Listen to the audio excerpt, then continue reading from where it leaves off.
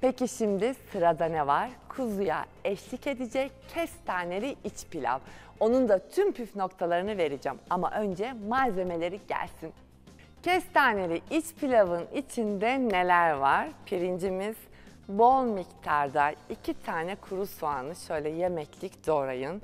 Kuş üzümü kullanacağım. Ben de ıslatacağım. Lütfen ıslatmayı unutmayın. Bir paket çam fıstığı var. Fiyatı biraz yüksek. Ben program olduğu için kullanıyorum. Opsiyoneldir. istemeyen eklemesin. Yeni baharım var. Çok az şeker koyacağım. Tadına bakıp koymaya da bilirim. 2 adet de çubuk tarçın tereyağı ve tabii ki güzel çorbaların, pilavların, yemeklerin sırrı neydi? Et suyu. Hatta altında açalım hemen et suyumuz ısınsın.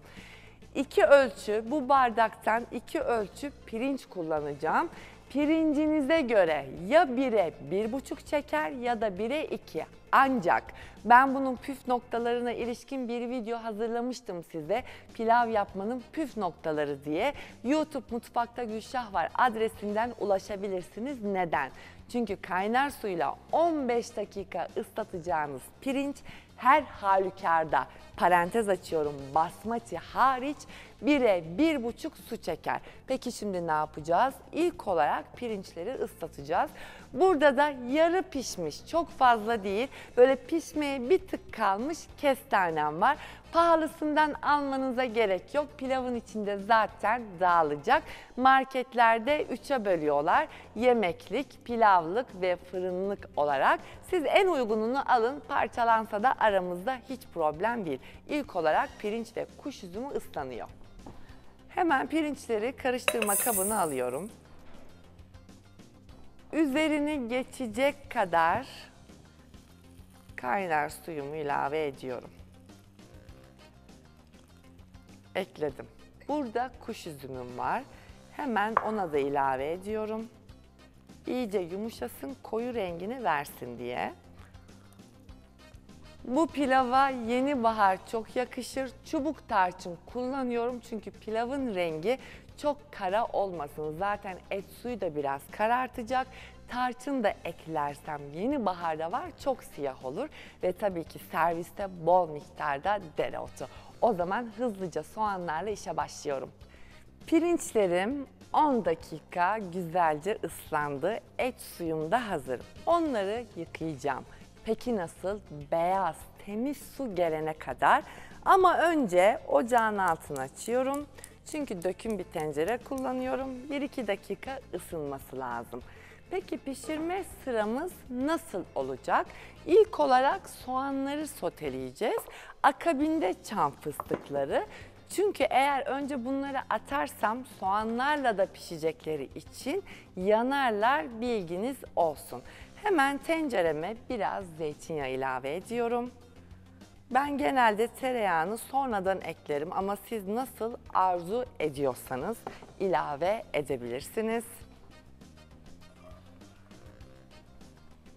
Hemen tuzunu da ilave ediyorum. Soğanlarım yumuşarken pirinçlerimi de hazırlayacağım.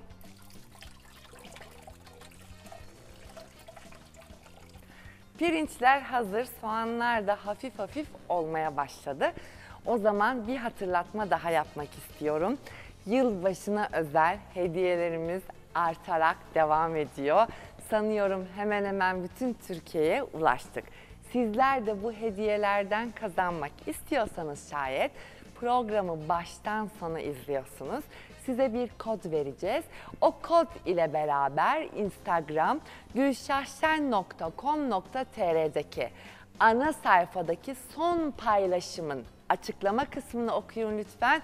Yorumlarda kodunuzla beraber sizi bekliyorum. Bu arada bu pilavın tarifini de yine aynı şekilde sosyal medyaya instagram gülşahşen.com.tr'ye yükledim. Ama her zaman en detaylı püf noktalarını izleyicilerime özel programda veriyorum. Bilginiz olsun. Programın tamamını da yine videolu olarak YouTube Mutfakta Gülşah var adresinden izleyebilirsiniz. Her bölüm kendime görev edindim. En az 3 tane hatırlatma yapıyorum. Çünkü sonra duymayanlar bana çok kızıyor. Kimse kızmasın diye en az 3 hatırlatmam var. Soğanlar hafif oldu. Hemen 60 gram kadar çam fıstığımı ilave ediyorum. Bu arada kuş üzümünüzü de mutlaka yıkayın ıslattıktan sonra güzelce süzün. Ben öyle yapacağım. Tencerede detaylı görebilirsiniz. Koyduğum anda renkleri değişmeye başladı. İşte o sebeple fıstıkları soğanın arkasına bıraktım. Hafif biraz daha renkleri değişsin sonra pirinçler onu da kavurmanız çok önemli. Artık pirinçler de tencereye gidebilir. İyice süzüyorum.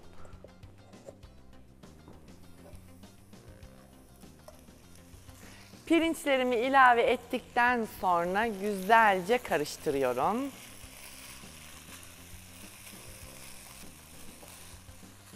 En az 2-3 dakika kavurmanız lazım. Şimdi sırayla diğer malzemeleri ilave ediyorum. Kuş üzümü. Her malzemeden sonra mutlaka tekrar bir kere karıştırın.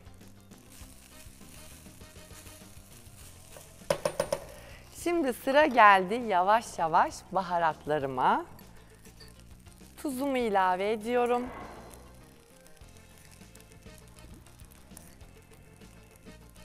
Dört çay kaşığı tuz koydum.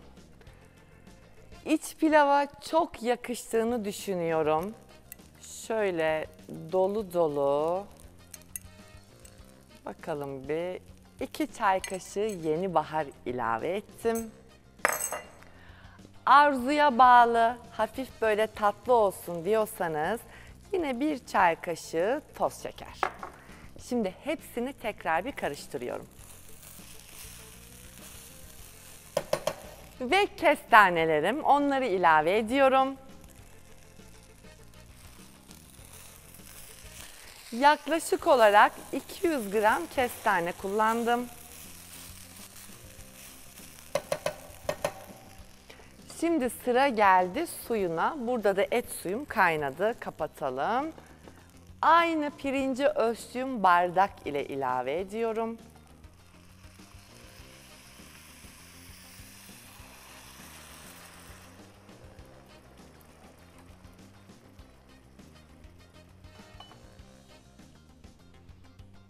Bire bir buçuk olarak suyumuzu ilave ettim.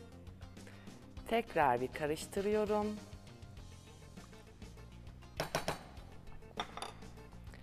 Üzerine bir yemek kaşığı kadar tereyağını bıraktım. 2 adet de çubuk tarçın.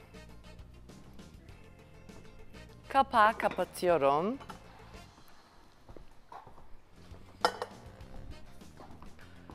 Ocağın küçük gözüne geldim. En düşük ateşte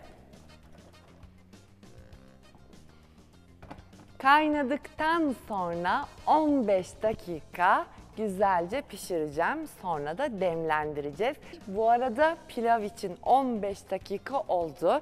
Şöyle size göstermek istiyorum. Bakın tane tane kaşığımız da dik duruyor. Şimdi peki ne yapacağız? Anne usulü demlenmeye alacağım. İlk olarak temiz bir mutfak havlusu. Güzelce kapattım. İnanılmaz da kokular geliyor.